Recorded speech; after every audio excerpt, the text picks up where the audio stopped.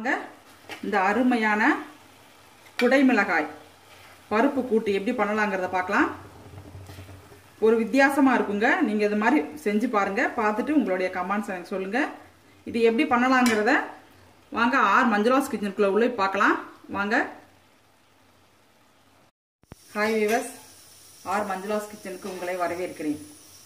நீ நம்ம என்ன பார்க்க போகிறோம்னா பாருங்கள் குடமிளகாய் பருப்பு கூட்டு. ஒரு தக்காளி நறுக்கி வச்சுருக்கேன் குடமிளகாய் ரெண்டு குடமிளகாய் நறுக்கி வச்சுருக்கேன். நம்ம குடமிளகாய் ஃப்ரைட் ரைஸு அந்த மாதிரி இதுதான் நம்ம பார்த்துருக்கோமே தவிர பருப்பு கூட்டு பார்த்ததில்ல. ரொம்ப டேஸ்ட்டாக இருக்குங்க. பாருங்கள் நான் துவரம் பருப்பு.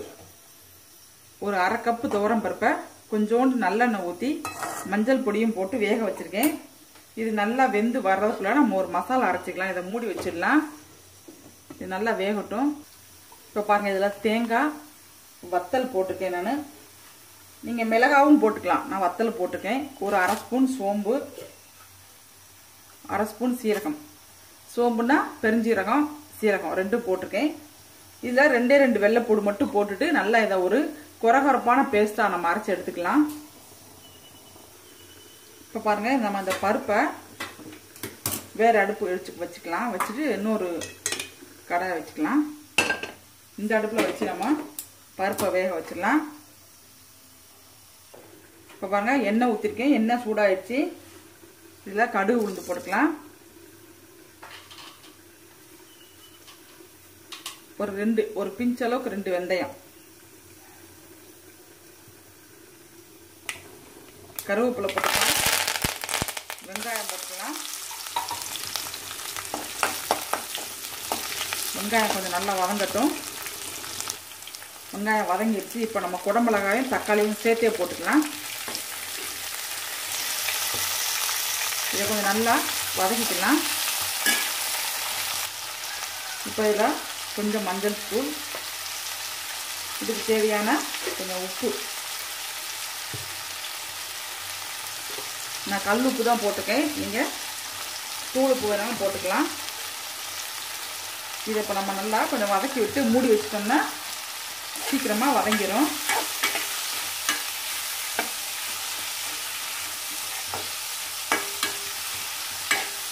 இதை நம்ம மூடி வச்சிடலாம். இப்போ பாருங்க நமக்கு இந்த பதத்துக்கு நல்லா வெந்துருச்சு. இப்போ நம்ம பாருங்கள் ஒரு கொஞ்சம் இதாக அடித்து வச்சுருக்கோம் பார்த்தீங்களா பொறு பொருன்னு அந்த மசாலாவை இதில் போட்டணும் உங்களுக்கு இந்த மாதிரி மசாலா போட பிடிக்கல அப்படின்னா வெறும் சாம்பார் தூள் போட்டால் கூட போதுங்க. நல்லா ஒரு வாசமாக நல்லா இருக்கும். வெறும் தேங்காயை மட்டும் கூட நீங்கள் அடித்து போட்டுக்கலாம் சாம்பார் தூள் போட்டு. இது வந்து இது ஒரு விதமாக நல்லா டேஸ்ட்டாக கொடுக்கும். அது ஒரு விதமாக இருக்கும். இந்த மாதிரி உங்களுக்கு நம்ம கூட்டுக்கு எப்படி அடிப்போமோ அதே மாதிரி தான் அடிக்கணும். ரொம்ப மையாக அடிக்கக்கூடாது. நல்லா இது மாதிரி அடித்து இதில் போட்டு நல்லா கொஞ்சோண்டு தண்ணி மட்டும் ஊற்றி இதில் ஊற்றி விட்டுலாம் இப்போ பார்க்க நல்லா நம்மளுக்கு கொஞ்சம் நல்லா வதங்கிடுச்சுங்க அந்த பூண்டு பெருஞ்சீரகம் அந்த வாசம் நல்லா நல்ல ஒரு ஃப்ளேவராக சூப்பராக இருக்குங்க வாசம். இப்போ நம்ம வேக வச்சுருக்கிற பருப்பையும் இதோடு சேர்த்துக்கலாம். உங்களுக்கு பருப்பு போட்டு அந்த கூட்டு பிடிக்கலன்னா இப்படியே கூட எடுத்து சாப்பிட்டுக்கலாங்க. இது இதுவும் நல்லா டேஸ்ட்டாக இருக்கும். இப்படியும் எடுத்து சாப்பிட்டுக்கலாம். பருப்போடு நம்ம சேர்த்து இது பண்ணும்பொழுது சாப்பாட்டில் பிணைஞ்சு சாப்பிட்டுக்கலாம். நான் சிறுபருப்பு இல்லைங்க அதனால் நான் துவரம் பருப்பு தான் போட்டிருக்கேன். நீங்கள் பாசுப்பருப்பு இருந்தாலும் போட்டுக்கலாம். பாசுப்பருப்பு போட்டால் கொஞ்சம் விழுவிழுன்னு ஒரு மாதிரியாக இருக்கும். இது வந்து நல்லா உங்களுக்கு சாப்பாட்டில் பிணைஞ்சு சாப்பிட்றப்ப நல்ல டேஸ்ட் கொடுக்கும். இப்போ வந்து நம்ம உப்பு தேவையிருந்தால் உப்பு பார்த்துக்கலாம். பார்த்துட்டு கொஞ்சம் உப்பு கூட நம்ம சேர்த்துக்கலாம். இப்போ பாருங்க நம்மளுக்கு அருமையான கூட்டு ரெடி ஆகிடுச்சுங்க இதில் மல்லி மல்லி இலையை கொஞ்சம் பிச்சு போட்டுடலாம்.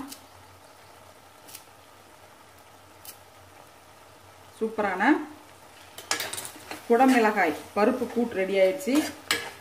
நீங்கள் இந்த மாதிரி செஞ்சு சாப்பிட்டு பாருங்கள் வித்தியாசமாக இருக்கும். எப்படி இதுவே கூட்டு வைப்பாங்கன்னு நினைப்பீங்க? சாப்பிட்டு பாருங்கள் நம்ம கோவங்காயெல்லாம் கூட்டு வைக்கிறோம் பாருங்கள் அதே மாதிரி நல்லா அருமையான டேஸ்ட்டாக இருக்குங்க. இது வந்து ரொம்ப உங்களுக்கு அந்த குடமிளகாய் விரும்பி சாப்பிட்றவங்கலாம் ரொம்ப இஷ்டப்பட்டு சாப்பிடுவாங்க. இந்த மாதிரி நீங்கள் செஞ்சு பாருங்கள் இந்த வீடியோஸ் பாருங்கள் உங்களுக்கு பிடிச்சிருந்ததுன்னா லைக் பண்ணுங்கள் ஷேர் பண்ணுங்கள் என்னோட சேனலை சப்ஸ்கிரைப் பண்ணாதவங்க தயவுசெய்து கொஞ்சம் சப்ஸ்கிரைப் பண்ணுங்கள் தேங்க்யூ பாய்